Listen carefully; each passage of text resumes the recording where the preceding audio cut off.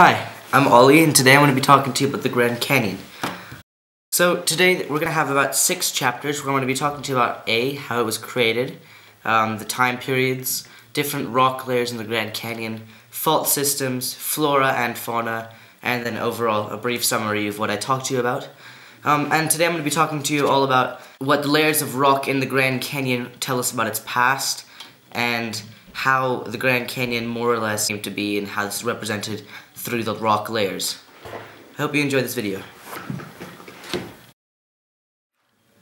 To understand the Grand Canyon, we must first discuss the idea of plate tectonics and the Colorado River, which both together played a massive role in the formation of the Grand Canyon. So, we should start off by quickly uh, understanding what plate tectonics are and what, what, what I'm talking about when I say plates millions of years ago, there was an oceanic plate and a continental plate, and they came together. And then the oceanic plate came went underneath, it subducted, and then pushed and pushed, creating this kind of lift in the continental plate, which caused two things to happen. A, it made the Rocky Mountains, and B, it uh, made the Colorado Plateau lift up. So, because the Colorado Plateau lifted up, this caused the Colorado River to start coming down. It had an angle to move now, so it was coming down quite fast, quite rapid. It was a strong, big river, which caused over millions of years this carving, the erosion, which created the Grand Canyon, this massive canyon that we see today. Okay, so right now we're in the Grand Canyon, and I'm going to give you a quick little uh, overview of the timeline of what's going on here, and we're going to actually walk up through it. So, uh, we started all the way at the top there, at the top of the canyon. Down at the bottom there, right at the bottom, is uh, probably the oldest point in the entire of the Grand Canyon. And uh, you progress up through the years until you get to the youngest stuff, which is all the way up there, or even right up there where you see those trees growing. And that's the youngest point in the Grand Canyon. And so I'm going to quickly uh, walk through what's going on from the bottom, and then in the middle part, and then the top and uh, how that happens through history and time. So first we're going to start off with the Cambrian era. So the Cambrian period lasted for roughly 55 and a half million years. Organisms went from single-celled into complex cells with multicell organisms. Uh, mineralized organisms came into existence. Continents were dry and rocky because of a lack of vegetation. Um, temperatures were quite cold, but the average was roughly 7 degrees, which is higher than today, uh, the average today.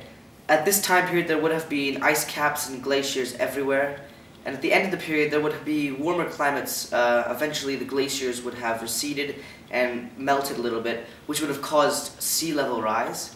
Um, and then this trend continued into the Ordovician era, which I'll tell you about next. There were many marine plants, but not many land fossils discovered from the Cambrian period. Uh, arthropods and trilobites were dominant life forms in the ocean in the Cambrian. Uh, quick side note there, trilobites are part of the arthropod family. Before the Cambrian, the seafloor was covered in life, but then these burrowing animals came into the Cambrian uh, era, which came and then killed the small sea creatures at the bottom of the seafloor which turned the seafloor to what it looks like today. Slightly. So that's the Cambrian. It's just kind of um, land regions coming into existence, kind of the Earth is sort of forming into what it looks like today a little bit. That's what we kind of see in the Cambrian. Then next we have the Ordovician era. So um, everything above the tropics was basically ocean. So the Ordovician was known for its marine invertebrate, um, and the Ordovician was diverse in marine life. So during the Ordovician time period, Earth was basically just an ocean with not much um, land going on. Next, we move on to the Silurian period, where 60% of marine species were wiped out during this period. Um, during this period, we had jawed and bony fish that existed during this time period, and we had stable and somewhat warmer temperatures, which would have caused glacial ice caps and glaciers to recede and melt which would have caused a relative sea level rise. Next, we move on to the Devonian era, or Devonian period, which is named after Devon in England, where rocks from this period were first discovered. Um, so, there, in the Devonian, there were the first signs of adaptive radiation, um, which is evolution of life forms occurring on dry land. Several groups of plants grew roots and proper leaves. The Devonian period was named um, the age of fish because of the amount of diversity among the fish in the Devonian era. Um, Four-limbed vertebrates, or tetrapods, began adapting to land and walking um, as their pectoral and fins uh, began turning into legs. So we kind of have a little bit of evolution going on here where fish kind of become more land mammals. So we have reptiles now. So now we're going to talk about layers in the Grand Canyon and how these layers connect to the different time periods they were in. So first I'm going to quickly run through what the layers are, uh, what they're made of, and then I'm going to talk about how this correlates the time period that they're in. So we start off all the way at the bottom where you have the Precambrian schist and granite.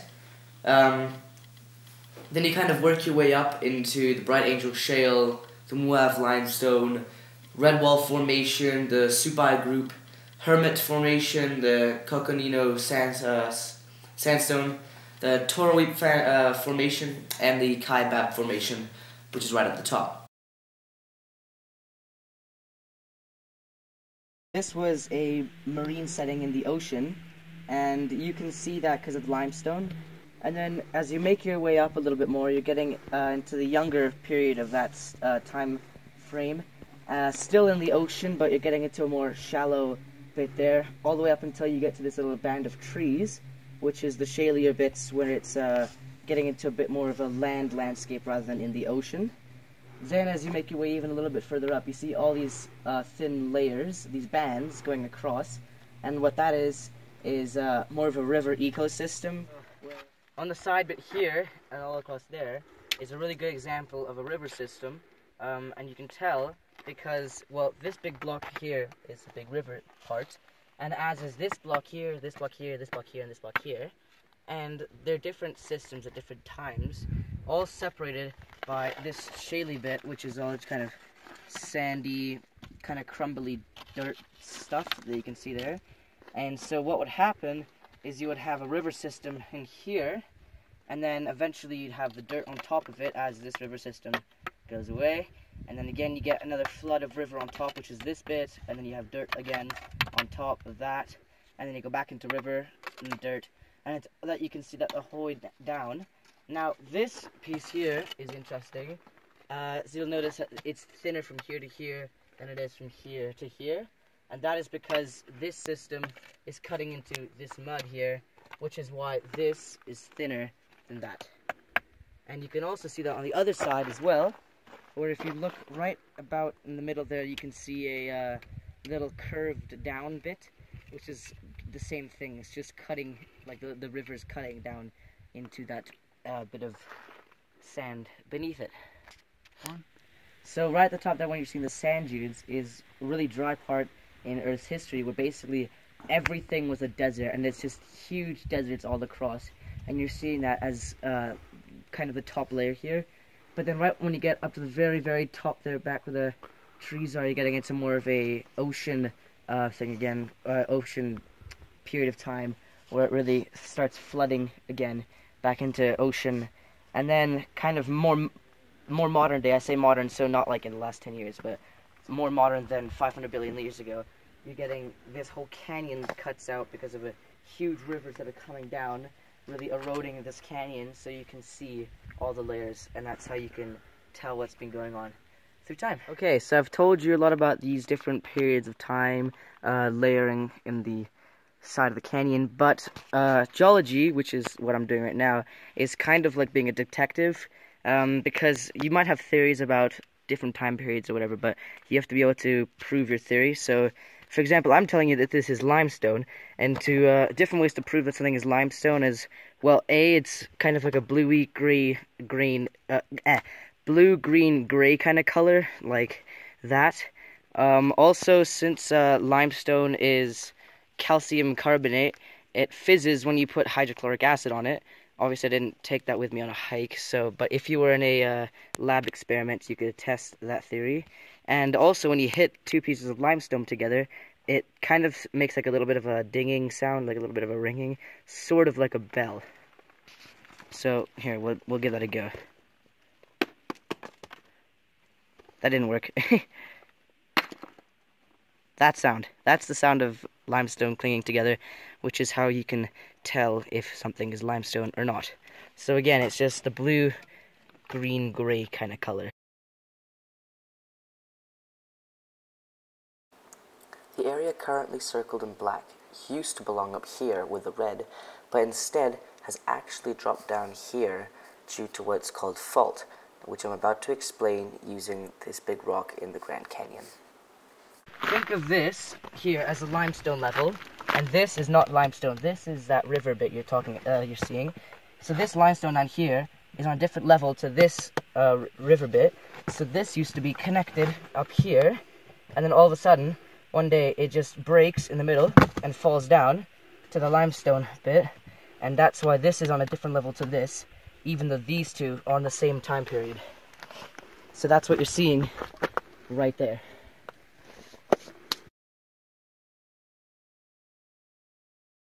I'm going to briefly talk to you about depositional environments and flora and fauna, and briefly what fossils are, for those that don't know. So depositional environment, sometimes called sedimentary environment, is a place where sediment is deposited.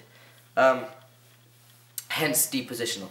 So it's usually something like a stream or a river, uh, a lake or an ocean bed, or even sand dunes. So the layers of sediment provide useful information about geological history within an area.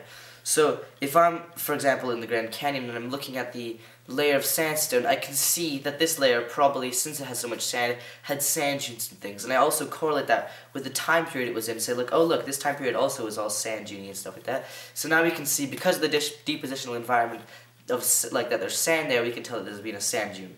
Now, flora and fauna um, are part of a subcategory called biota.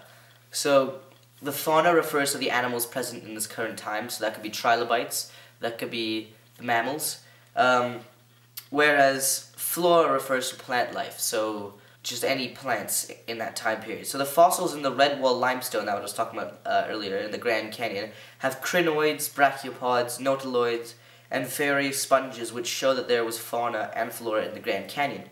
Um, in the Supai group in the Grand Canyon, which was shallow oceans and muddy river, um, there are footprints of amphibians and crocodiles and a plethora of flora there.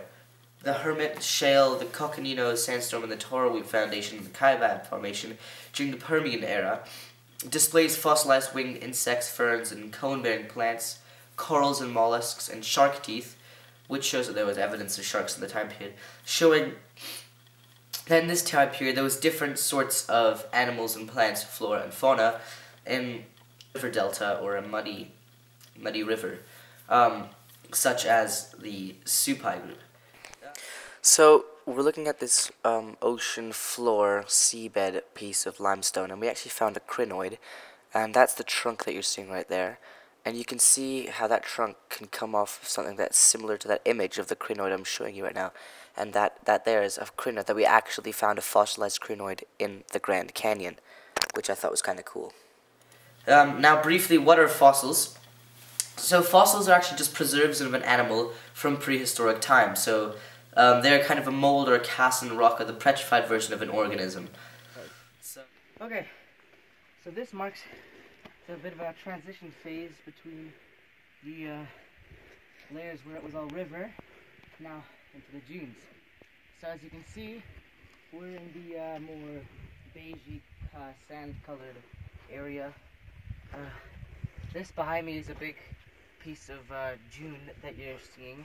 So what you're seeing in here is all these different layers of windswept sand that has then hardened and then formed another layer on top. So this is this line here is the bottom of one of the dunes, and this is another one. This is another one, and this is another one. It just keeps going up with all the big major cracks, and that's where the wind would have come through to uh, sweep these big dunes, and so all these little lines are all the different layers of sand on top. Uh, also, you can get it so all the way up there. You can also see the uh, uh, layers coming uh, sideways across, and uh, the word is I think it's called uh, is it cross cross what is it Bedding. cross bedding. There you go. So this is called cross bedding because these little layers, you would call them beds. They- They're uh, sand beds or layer beds or whatever, and uh, they're crossing over each other. And uh, where's a good example? As you can see, like, yeah, here down here, you can see that there's these are diagonal here, and then these ones come in here, and then there's some that come in like different directions, so they can come in from all different directions which is called cross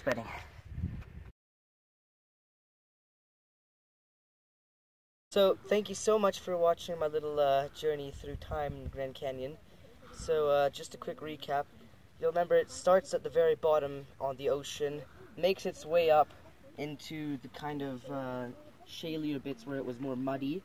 Then it makes its way up into river systems, back uh, then into sand dunes where you see the big uh, beige bits there, and then back where I'm standing again on this limestone, which is back into a marine environment, which you can tell uh, that it's limestone because of the color, the sand, and the uh, different things living inside of the limestone.